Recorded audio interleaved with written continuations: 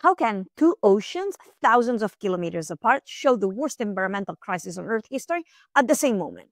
About 250 million years ago, Earth went through its worst extinction.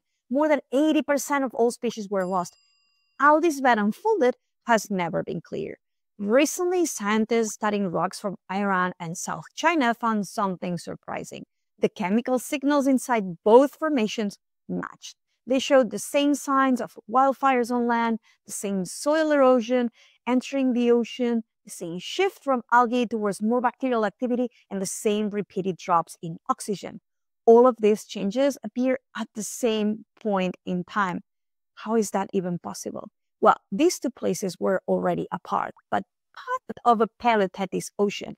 When volcanic warming pushed the system past a threshold, the entire basin responded together. This matching pattern shows the end Permian extinction was truly global. To learn more about the fossil record, subscribe.